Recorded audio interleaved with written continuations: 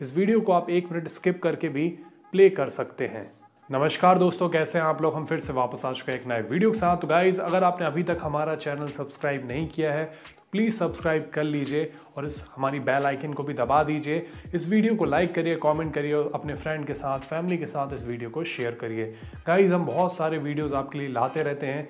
पूरे न्यूज़ से रिलेटेड जो भी वायरल मटेरियल होता है, जो भी बड़ी बड़ी डिबेट होती है, सबका हम आपके लिए प्रॉपर वीडियो लाते रहते हैं। तो आप हमारे चैनल से बने रहिए। भी अमेरिका को अड्डे दे चुका है जैकबाबाद सिंध में और शमसी एयरबेस बलूचिस्तान में।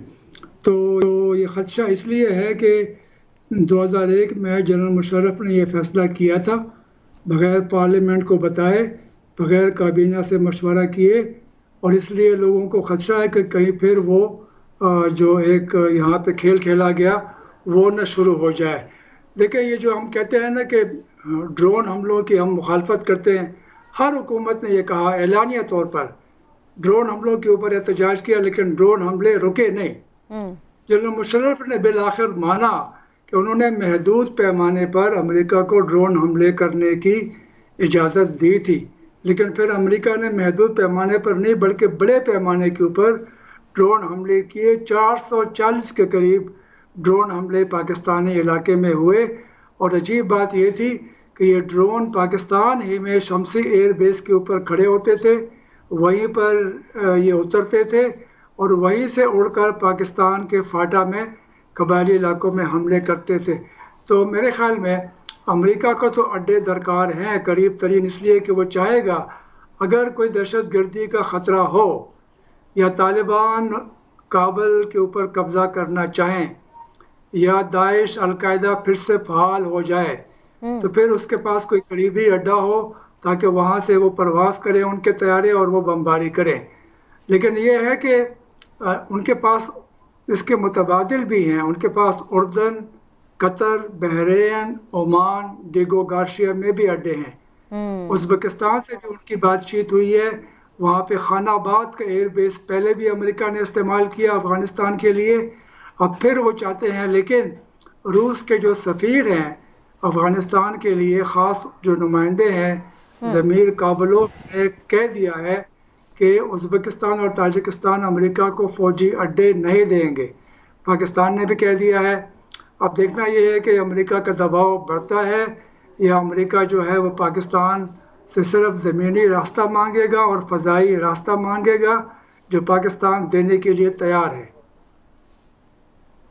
अच्छा रहीमुल्ला यूसुफ जैसा इमरान यकूब बात कर रहा हूँ, मैं आपसे ये जानना चाहूँगा कि एक सहाफ़ी है, उन्होंने वी लॉग में ये कहा कि जी वैसे तो हमारी जो वजारत खारजा उसने इसकी तरदीद की है, लेकिन उन्होंने ये भी कहा है कि पाकिस्तान कोई अड्डे नहीं दे रहा 2001 का जो माहा है, वही उसी के तहत जो भी होगा, वो होगा। तो 2001 का जो माहा था, उसमें कहीं वही परवेज़ मुशरफ साहब वाली शिक तो शामिल नहीं थी। देखें ये तो एक मामा है कि वो जो माहा हुआ था, उसकी तफसील क्या है?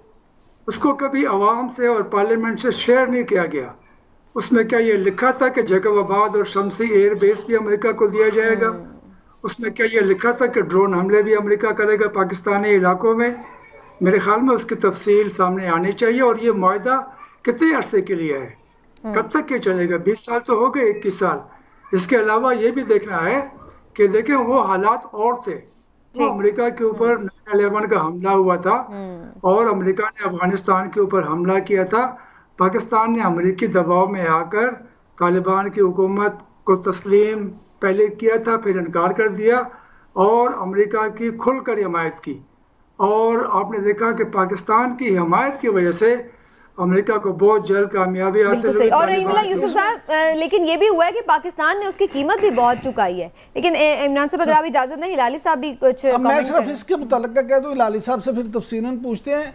रहीमुल्ला यूसुफ साहब मेरे वाकफा ने हाल जो हैं वो ये कहते हैं कि वज़ी अजम इमरान खान साहब ने कैटेगोरिकली मैं आपको फिर कह दूँ कि वज़ी अजम इमरान खान साहब ने एक अपने दोस्त सहाफ़ी से परसों मुलाकात करते हुए कैटेगोरिकली ये कहा है कि उन्होंने शदीद इस बात पे अपने तहफ़ात का इजहार किया है और कहा है कि पाकिस्तान किसी सूरत में भी ड्रोन हमलों की या फौजी अड्डों देने की इजाज़त नहीं देगा। और उस पर उन्होंने कहा है कि मैंने ये कहा, यानी वज़ीर अजम इमरान खान ने यह पैगाम दिया है कि मैंने तो खुद वहाँ जाके वजीरिस्तान में ड्रोन हमलों के खिलाफ एहतजाज किया था लिहाजा मैं मेरे सारे ही सारे इशू में उनकी कैटेगोरिकल पोजीशन नहीं हो। सकती। बिल्कुल उनकी कैटेगोरिकल पोजीशन ये रही है। हम्म। मैं कहना चाहूँगा कि चाहिए कि वज़ीर आज़म ये बात खुलकर करें। हम्म। अपनी पॉलिसी बयान दे।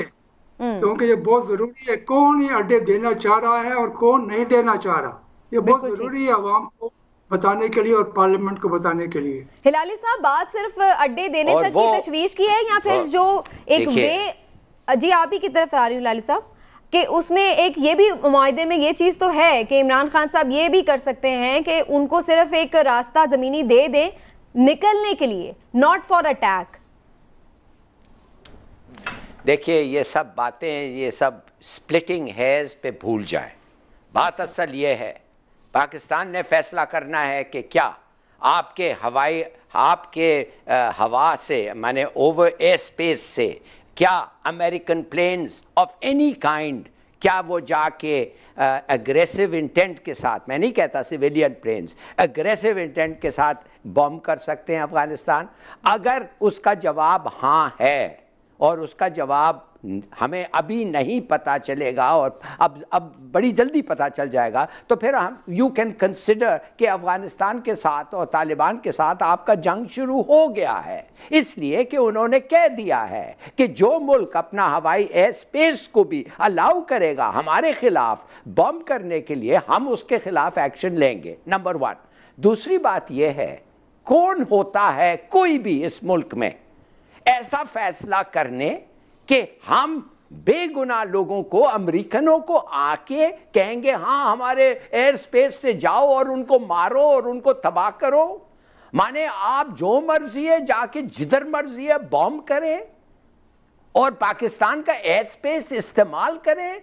किसी की ज़रूरत नहीं है पाकिस्तान में वैसे इजाज़त देने के लिए। और मैं बड़ा खुश हूँ आज कि मौलाना फजल रहमान ने वो कहा है माफ़ करिए जो मैं आठ घंटे पहले एक ट्वीट में कहा था। मैंने कहा कि जिस तरीके से यमन में आपने पार्लियामेंट से इजाज़त मांगी थी to deploy troops in Yemen वैसे आप जाएँ और ये और वही मौलाना फजल रहमान कोइंसिडेंटली उन्होंने भी यही कहा कि हम गवर्नमेंट को कहते हैं जाओ पार्लियामेंट में और इजाज़त लो एंड डोंट फूल अस ये hmm. मुशरफ के तरह गेम मत खेलो हम जानना चाहते हैं कि हमारे एयर स्पेस से अगर ये होगा hmm. तो पाकिस्तान डिस्टेबलाइज होगा अफ़गानिस्तान डिस्टेबलाइज होगा सिविल वॉर तो वैसे ही होगा इनको निकालते रहे गनी को और अमेरिकन जान बूझ के ये कर रहे हैं कि हम भी तो गाइज़ ये वीडियो यहाँ पर होता है ख़त्म, आप यहाँ से ये वीडियो छोड़कर जा सकते हैं।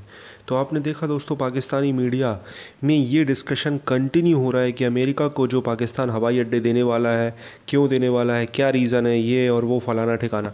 हालाँकि ये डिस्कशन बनता नहीं है, क्योंकि पाकिस्तान के फॉरन फॉरेन मिनिस्टर जो हैं साम महमूद कुरैशी, उन्होंने पाकिस्तान की पार्लियामेंट में बोल दिया है कि हम ऐसा कुछ करने वाले नहीं हैं। लेकिन उसके बाद भी पाकिस्तानी मीडिया में ये कंटिन्यू डिस्कशन हो रहा है। तो इसका मतलब ये है कि पाकिस्तान के मीडिया को खुद ही बिलीव है कि पाकिस्तान की गवर्नमेंट या पाकिस्तान की जो इस्टेब्लिशमेंट है वो कभी भी यू टर्न ले सकती है और कभी भी कुछ भी कर सकती है। और ये डिस, जो डिस्कशन है वो इसलिए ज़्यादा हो रहा है मेरे नज़रिए से क्योंकि अमेरिका की तरफ़ से ऑफिशियल स्टेटमेंट आया था कि हमारे साथ पाकिस्तान की जो प्रोसेस है वो कंटिन्यू रहेगी। 2001 का जो एग्रीमेंट है वो कंटिन्यू रहेगा। इस वजह से पाकिस्तानी मीडिया में ये कंटिन्यू डिस्कशन हो रहा है। और गाइज़ इस मतलब जो अमेरिका अगर अड्डे लेता है पाकिस्तान में तो उसके पाकिस्तान का तो उसमें बहुत फ़ायदा हो जाएगा। जो एफएटीएफ के झंझट में पाकिस्तान फंसा है, पाकिस्तान को बहुत सारे कर्जे हैं, पाकिस्तान को इसकी अच्छी खासी कीमत मिलेगी और जो कि पाकिस्तान वसूल भी रहा है। लेकिन जो पाकिस्तानी मीडिया में चिंता की बात हो रही है कि अफ़गान तालिबान को आप अपना दुश्मन बना लेंगे, चीन को आप अपना दुश्मन बना लेंगे, लेकिन पाकिस्तान इतने मतलब दलदल में फंस चुका है कर्जे की कि वो जितना हिलता है उतना ही नीचे जाता है। तो शायद उसे ऐसा लग रहा है कि ये तरीका सही है। मतलब आप अमेरिका से पैसे लेकर कर्जे चुकाएँ और अमेरिका पैसे देता है भीख में। लोन नहीं देता है, चीन पैसे देता नहीं है। चीन पैसे देता है, फिर वापस वसूलता है मतलब चीन कर्जा ही देता है। तो पाकिस्तान के जो इस्टेब्लिशमेंट है, उनको यही सही लग रहा है और वो अमेरिका को अड्डे दे देंगे। और मुझे ऐसा लग रहा है कि अड्डे दे ही चुके हैं, क्योंकि अफ़गानिस्तान की मीडिया में ऐसा कुछ डिस्कशन हो रहा है कि जो जो जगह है, पारा चिनार और दो, तीन, चार जगह है, वहाँ पर कुछ एयर बेसिस और कुछ चीज़ें मतलब बनने लगी हैं। मतलब ये ऐसा लग रहा है कि सीक्रेट तौर पर अड्डे दिए जा चुके हैं। तो यहाँ पर जफ़र हिलाली तो ऐसा एक्सप्लेन कर रहा है कि पाकिस्तान में गृह युद्ध जैसे हालात हो सकते हैं। पाकिस्तान में इस वजह से बहुत सारे रिफ्यूज़ी आएँगे। पाकिस्तान फिर से वही पुरानी जंगी हालात में चला जाएगा, जिस समय मतलब अफ़गान रिफ्यूज़ी पाकिस्तान में आए थे। तो गाइज़ आपको भी पता है कि पाकिस्तान एक ऐसा देश है जो पैसे के लिए तो अपनी माँ बेटियाँ भी बेच दे।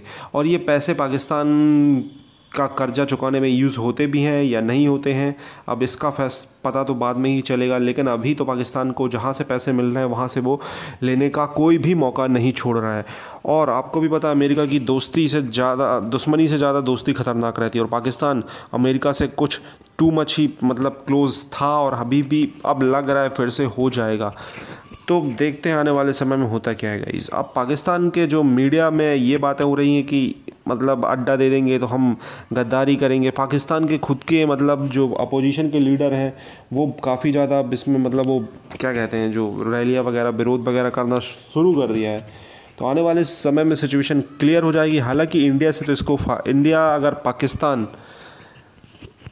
के नज़रिए से देखें, भारत तो भारत को फ़ायदा होगा अगर अमेरिका यहाँ पर आता है तो डेफिनेटली भारत का फ़ायदा होगा। फ़र्स्ट इंडिया पाकिस्तान में ज़्यादा टेंशन नहीं रहेगी, क्योंकि अमेरिका बैठा है तो अमेरिका बोलेगा कि आप क्यों लड़ रहे हो? अमेरिका के कंट्रोल में रहेगा पाकिस्तान। भारत अमेरिका पर प्रेशर बनाएगा कि यहाँ से ये जो सीज़ फायर वॉलेशन आतंकवाद, ये सब शायद कंट्रोल हो जाए और चाइना पाकिस्तान से दूर जाएगा, उसका भी इंडिया को फ़ायदा है। तो ये चीज़ें इंडिया के पक्ष में है। तो गाइज़ ये वीडियो यहाँ पर होता है ख़त्म। आपको ये वीडियो कैसा लगा प्लीज़ चैनल को सब्सक्राइब करें, वीडियो को लाइक करें कॉमेंट बॉक्स में अपने सुझाव ज़रूर दें।